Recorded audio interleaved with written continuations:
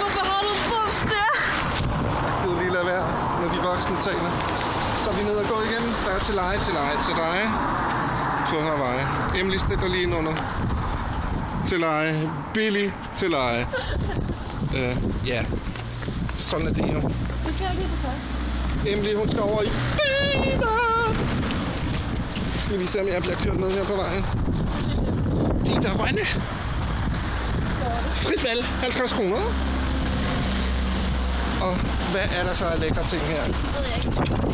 Hvad kunne vi finde på at købe? Prøv at tage et eller andet ud. Nej, det er Der, prøv at tage den der ud. Det er en fucking Britney bluse. det er Britt. Den skal du sgu da have på. Til din konfirmation. Er min konfirmation. Second hand. Nej, det. Øh, Bornholm. Øh. Den der er fed, siger jeg. Ja, den er det. Jeg ved sgu ikke, om det er men folk de køber fald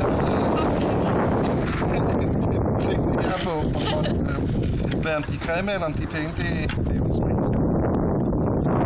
Ja, skal jeg, jeg kan godt. Hov, på hvad, hvis de skulle vente den op. En lille hund. Den synes jeg er fed. Og skal vi gå ind og købe den? Ja. ja.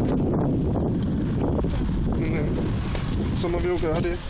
Der er også nogle lækre Og jeg kan ikke sutter her. Hvad? Jeg kan ikke have dem på. Nej, okay. Ellers vil jeg gå Men øh, vi går ind i Dita. Så, gå ind.